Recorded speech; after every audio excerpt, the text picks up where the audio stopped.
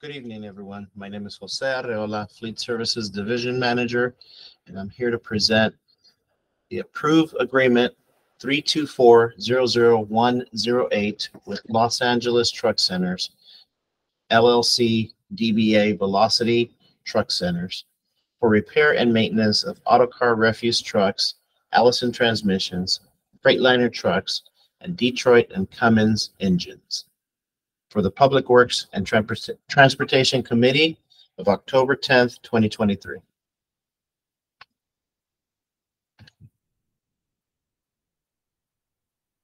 Recommendation that the Public Works and Transportation Committee recommend that the City Council approve and authorize an agreement with Los Angeles Truck Centers LLC, DBA Velocity Centers, Velocity Truck Centers for a one-year term with the option to extend for four consecutive one-year periods for a maximum contract term of five years and a total contract not to exceed amount over the entire possible contract term of one million two hundred and fifty thousand for the repair and maintenance of autocar refuse trucks, Allison transmissions, Freightliner trucks, and Detroit and Cummins engines as part of the city's equipment fleet on an all-call, on-call as-needed basis.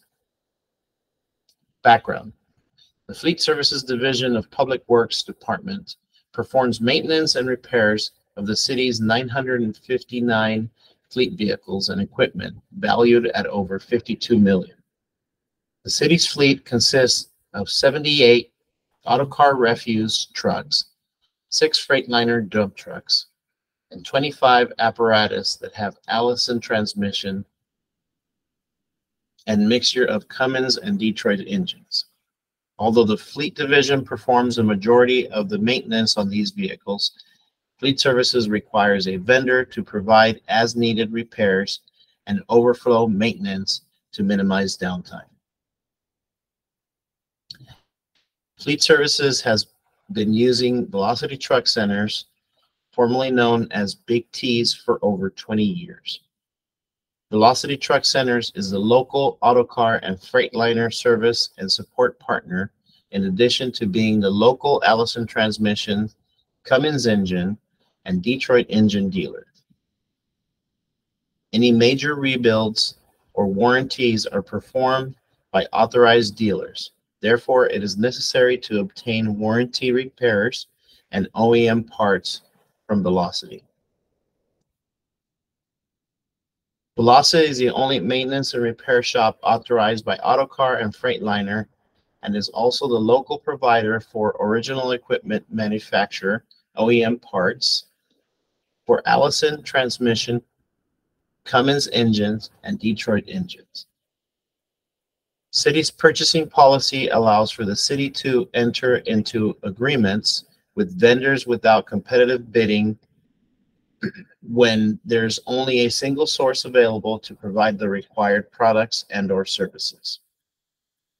Having access to the authorized repair shop with access to OEM parts ensure maintenance can be performed in an efficient manner and warranty services can be obtained.